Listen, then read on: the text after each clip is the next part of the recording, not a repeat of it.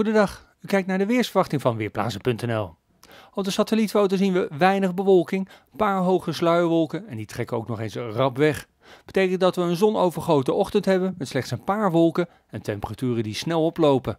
Vanochtend om 7 uur was het plaatselijk al 20 graden, aan het einde van de ochtend is het al 24 tot 28 graden en vanmiddag wordt het dan op veel plaatsen in het midden en zuiden 30 graden.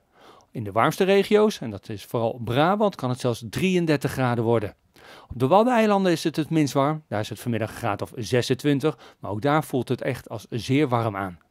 Ook vanavond blijft het nog lang warm. De temperaturen die we hier op de kaart zijn, zien, die zijn voor vanavond 9 uur. Morgen wordt het nog warmer. Flinke zonnige periode in de ochtend, een paar sluierwolken in de middag en temperaturen van 30 tot 34, misschien zelfs lokaal 35 graden. Pas in de avond neemt in het zuidwesten de kans op een bui toe. In de nacht naar zondag en zondag overdag zijn er overal meer wolken en kan er overal een bui vallen, misschien met onweer. De buien brengen iets minder warme lucht, maar heet blijft het. Maandag ook nog enkele buien en vanaf dinsdag breekt weer een periode met droog weer aan en de temperaturen blijven zomers. Ik ben Michiel Severin van Weerplaza.nl